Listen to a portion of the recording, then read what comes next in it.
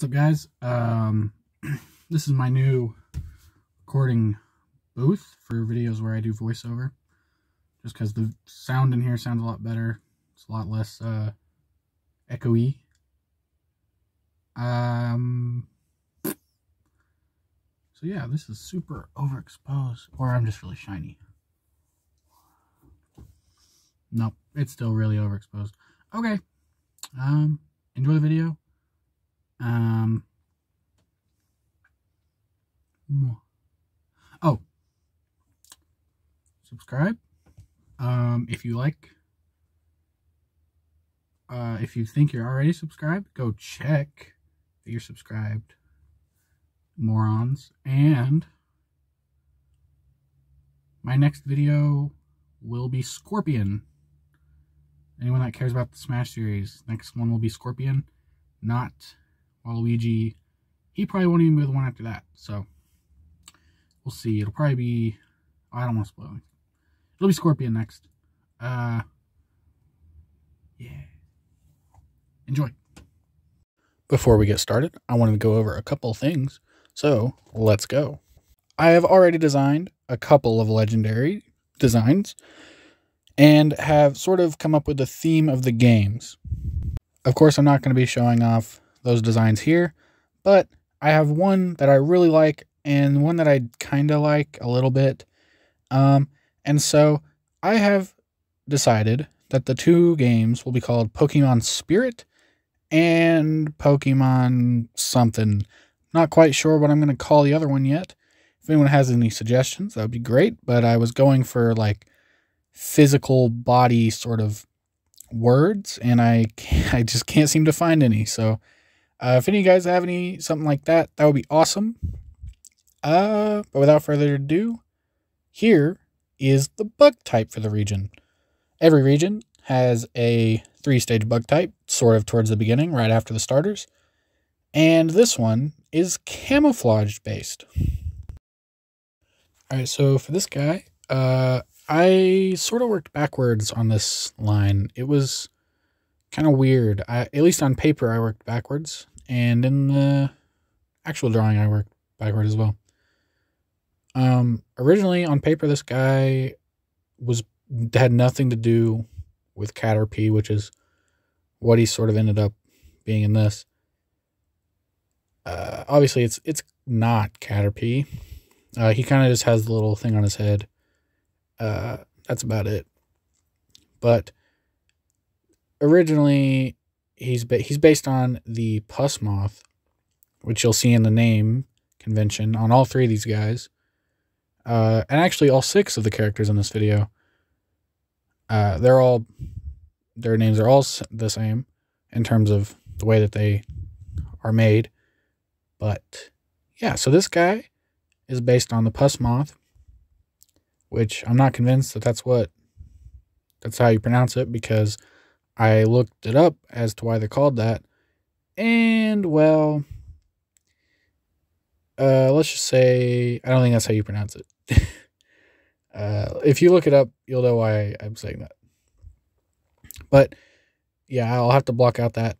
That just popped up a second ago when I changed windows because that is the last design. And I used the green from that design here. Uh, so I I don't have I don't color these guys on paper.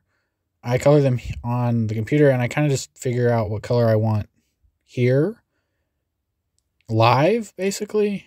Uh which can be bad sometimes. I think that happens on one of them. I think it's the next one where I I'm not really sure what color I'm going to do. Or maybe it's, I don't know. I think it's one of the next, it's the next, next, next one. But yeah, so he's basically almost done. Uh, I wasn't really sure what color I was going to do. Those little things on his face. But they're supposed to be like little, little dangly bits. Uh, and so that was kind of hard to do. Also, these eyes, I wasn't sure what color they were going to be. But I just ended up going red. Because I didn't know what to do. Uh, you'll see here, I, I shade like I always do. I need to kind of maybe change my the way I shade, but I think it looks nice. I just take the base color, up it, and then lower it on the other uh, swatch there, and then I just put light on one side and dark on the other side. And you know, if it's like a roundish object, like these little thingies, then it ends up being, you know, more rounded. Uh, now the the way I do it is each color is a separate layer basically. So all the red is on one layer and all the yellow is on one layer. And so shading is a little weird, but I think it, it ends up looking all right in the end. Uh, this is my least favorite out of all the designs, I think, today. I think I think that's correct. Um, and I just don't like it. So, yeah. Here.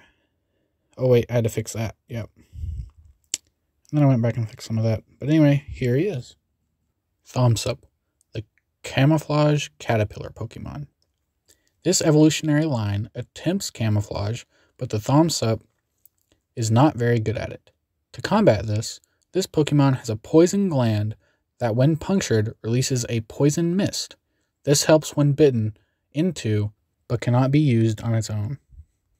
Alright, so uh, this guy also was not originally based on the Pokemon that's based on. The original concept was the the last evolutionary uh, eh, the the last one in this line was uh, based on a Pokemon and was camouflage and whatever. And I just I had to do that Pokemon like that, and I had already done these two, and I really liked the designs for these two, but I did so I didn't want to really change them. But I I thought about it and I was like, they really need to be, you know, the same, right? So I based I changed them basically while I was drawing them on the computer. Uh, and this guy, originally those branches looked a lot more like real tree branches. Um, and I originally was like, I'm going to change that completely and just put like a little wrap around burrito kind of thing around it, which is why I had that on there uh, and just sort of erased it and drew around it because uh, that was my original idea. But I ended up changing it back to semi, you know, more realistic looking, but not 100%. Uh, and I don't, you can't see it in the actual video, but I, I switch over to a Google tab to to look at Sudowoodo because I based him off Sudowoodo and added his little little tree hands Sudowoodo has. By the way, Sudowoodo is a rock type. Didn't know that. if you didn't know that and that ruined your day, I am very I do apologize because that that ruined my day when I found that out. He's a rock type. But uh yeah, th- this guy was pretty easy. My, I didn't originally have it to where they were different colors, the like the inside and the actual tree part, but it kind of needed it. The, it needed a, a different color there because it was kind of hard to tell where that stopped and where the actual head part started, and so that was really hard to do. Also, uh, technically, I drew the eyes wrong when we get, or I colored them in wrong. I colored it in where the lights on the top, so it makes the eyes look like they're bulging out, kind of like an Ewok. But it was meant to look like they were inward, like they were hollow. So I think I might have to change that, fix that. Uh, but you'll see what I'm talking about here in just a second. Uh, the yellow spots I thought about not doing because they don't look good, but I, I think it helps break up the the color there. Uh, I think I do multiple passes with the shading here because it is it was quite, it was quite difficult to do the shading. I think I go over it one more time. I think I might be wrong though. Because this goes way faster than what I actually did. Yeah, no, I don't. I don't. I think I do, but you can't tell in the video. It's so sped up.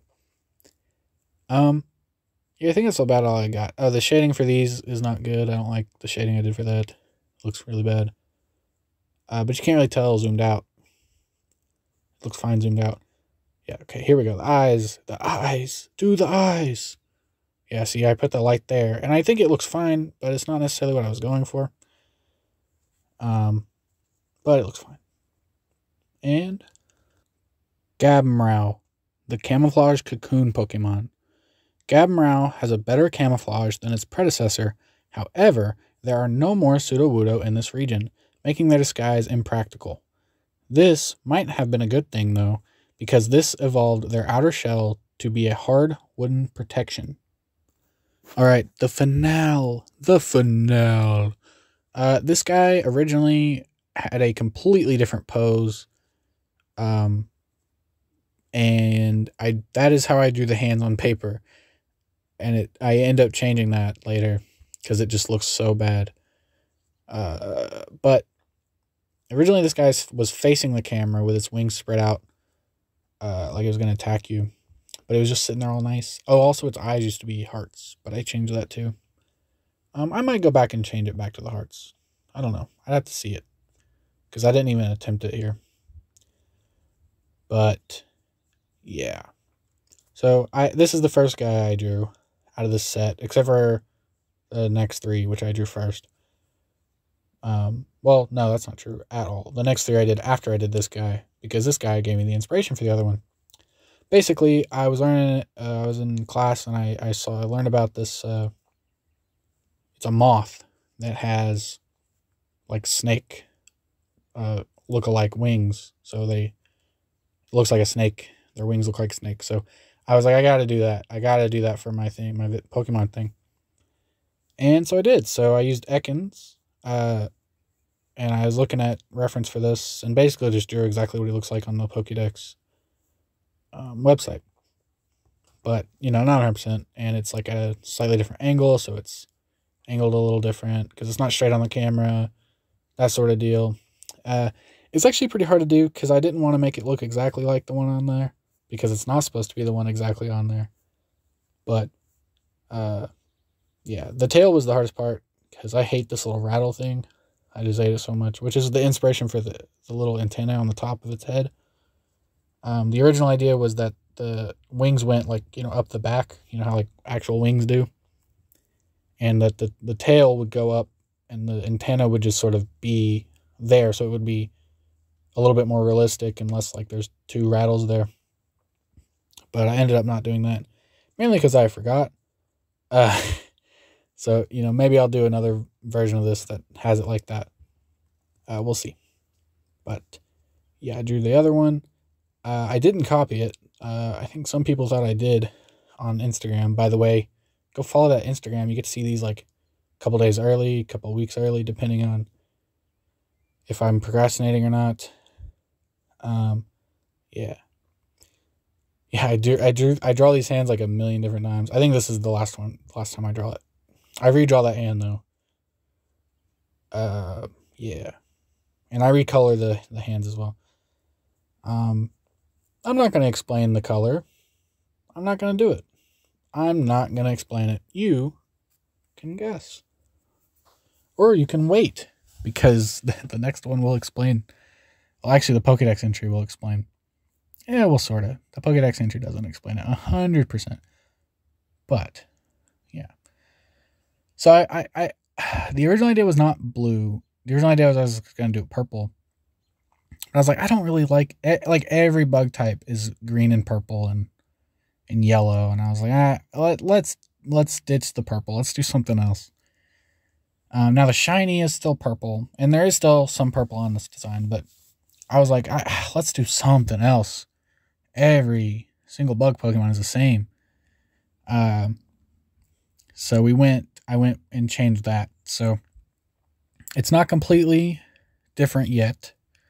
Uh, it's still got the, the rattle and uh, there's a yellow stripe. Yeah, there it is. Still got all that. Um, so, you know, whatever. Pain in the mouth there. Uh, the, I try to get the mouth right. Ekans' mouth is so weird, dude. It's just so bizarre. Um, but if you remember, the first stage of this evolutionary line has an ink sac, and so that, or uh, not an ink sac, a poison sac. So that is inside of there somewhere. You'll get to see that. Also, oh, yeah, lighting those wings, that is weird because I wanted to make them kind of translucent looking without making them translucent. And I think it ends up looking all right. Uh, I wish I would have drew the color of the other wing on top of the the other one, just like a you know like a faint opaque looking thing to make it look nicer. But whatever. Uh, yeah, so that's the purple poison goo. Uh, I do change it very soon, I think. Yeah, yeah, yeah. Go, it goes up the arm. Thomsalta, the camouflage butterfly Pokemon. While in this region, Ekans does not possess the signature yellow band or rattle, the Thomsalta evolved their unique form of camouflage while Ekans was adapting to the cold, resulting in a mix of the two forms. Alright, Ekans. So this whole line stemmed from that blue Ekans on the on the butterfly idea.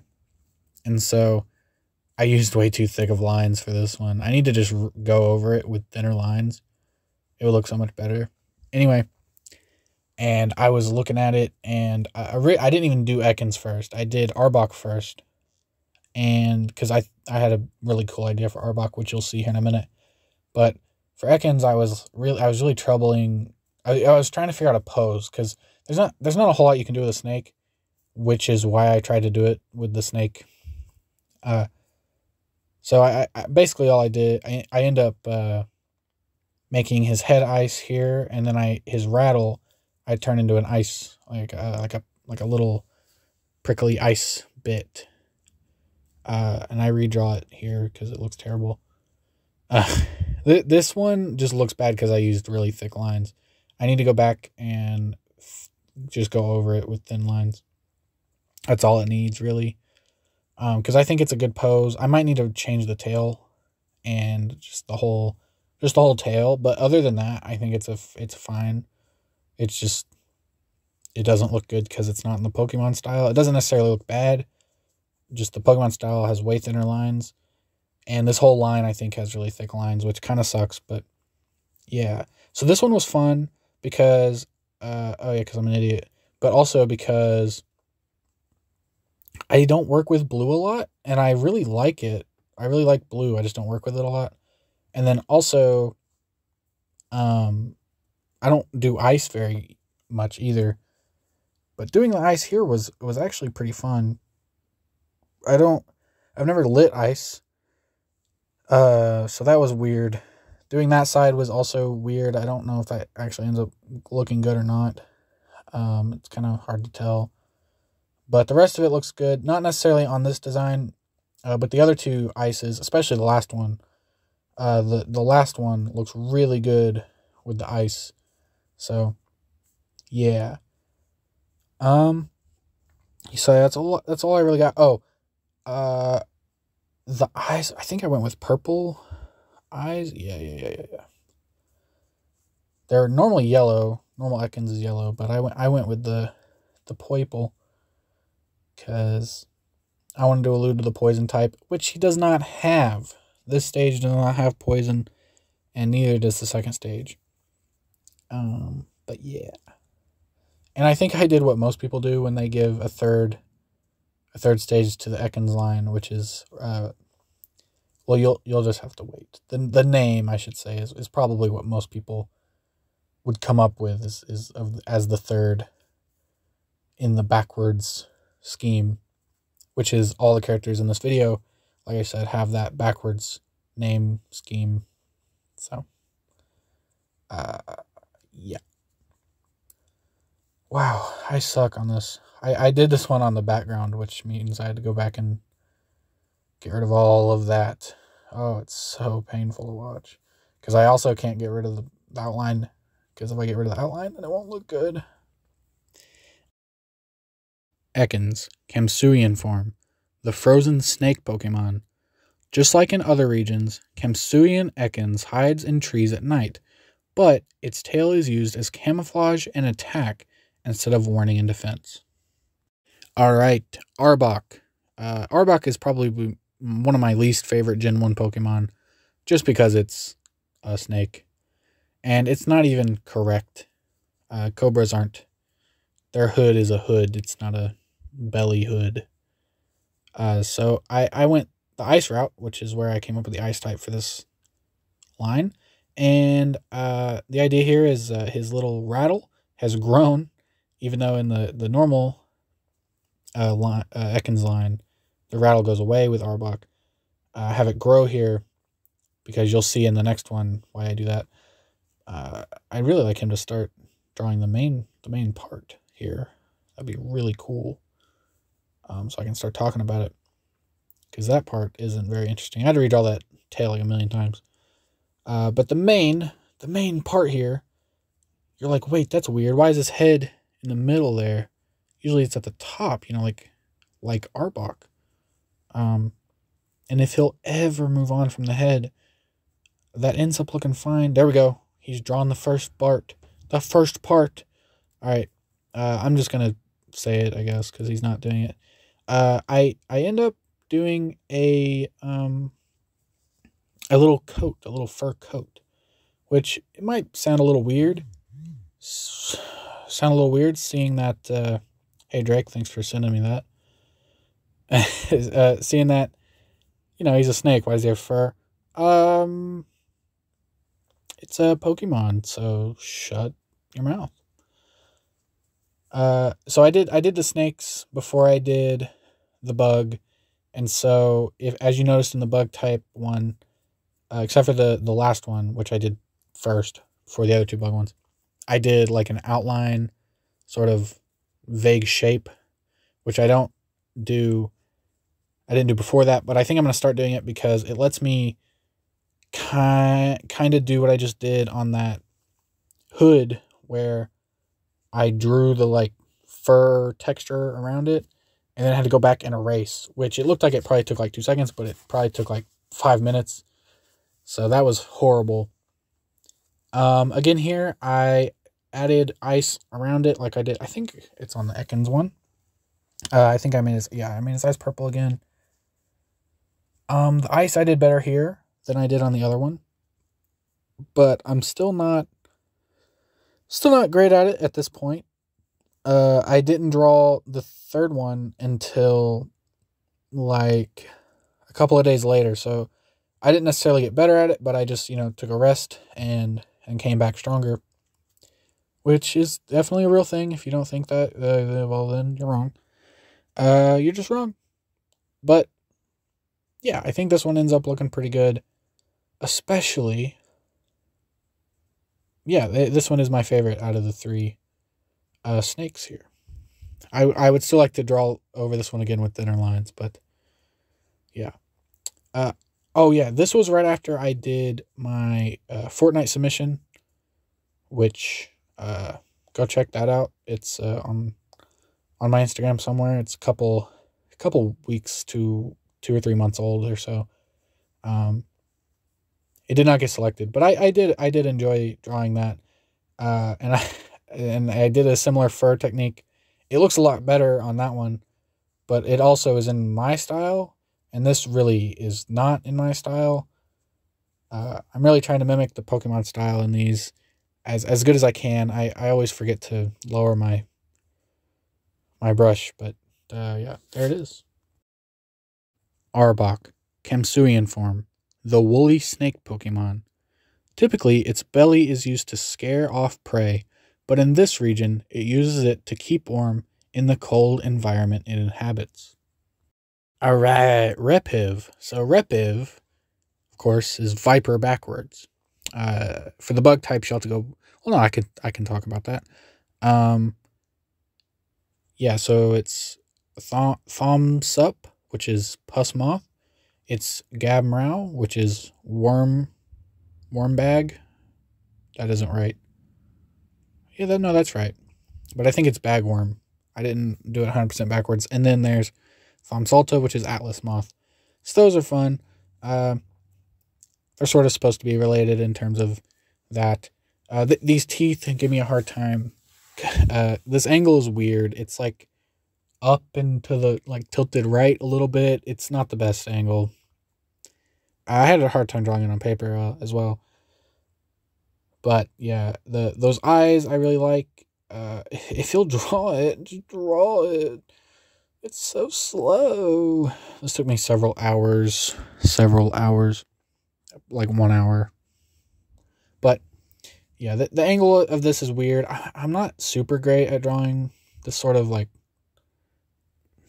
square rectangle sort of deal. But I think it ends up looking pretty good. And the original design does not have the big one that it's sitting on at the bottom.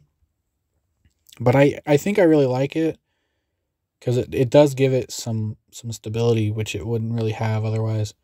Uh, you know, like Onix, like Onix does, which is clearly what this one is inspired by to some degree, is Onix. Uh, and I based the size and weight of it on the Pokedex off of Onix. Like I just basically took it and like made him a little heavier because water is heavier than rock, sort of deal. Um, but yeah, he's entirely made of ice, which is why the rattle grows in size on Arbok and then takes him completely over. Um, like I said, the ice on this one I think looks the best out of all of them. The the little texture that I do. Um, this was also after I started doing my animation, which there's a little bit of it on Instagram, but I, I don't think I'm gonna post all of it until it's done. Or I, I don't think I'm gonna post any more of it at all until it's done, which means I'm gonna have to color it and all that. But it, I haven't even worked on that in a couple of days. I haven't worked on a lot of things in a couple of days. I need to do that. But he gets something back soon. Can you guess what? Can you guess? I think I said it already. I think. He's getting his poison type. Where is his poison type? Well, I'm adding some purple where uh, there was almost no purple on the other ones except for in the shinies. Um, and I think I made his eyes yellow. Yellow, maybe. I don't know. I don't remember. I don't remember. Um, yeah. So, uh, I add a shadow. And my original idea was just kind of you know, make make it you know darker blue uh, in certain spots because uh, I forgot that I was going to make him a poison type, and I was like, oh wait, purple, purple, purple, and so I took the exact same idea, but I did it with uh, purple. Uh, it took me uh, quite a while to get it right because I wanted to try it. I don't know, it was kind of weird. It, I I really like how it comes out though. This isn't my favorite, but I, I think the, the color is, is really, really cool and my favorite uh, out of all of them. Just for the sheer coolness of uh, how it ends up looking. Uh, oh, yeah, I went with blue. Yeah, yeah, yeah, that's right. Uh, so anyway, this is Repiv. Repiv, the hairy snake Pokemon. The ice has fully taken over the body of this snake and has regained its poison type. Repiv has also made several small spikes prickling out of the sides of its icy shell. Alright, I hope you guys like this video. Um, expect my next Pokemon video in like three months because uh, I really want to work on the Smash uh, series and also that animation that I was talking about. It's not a long one, it just takes a long time. Uh, so thanks for watching and uh, subscribe to watch the next video and the next Smash video uh, with Scorpion. Uh, anyway, uh, see you guys. Thanks for watching.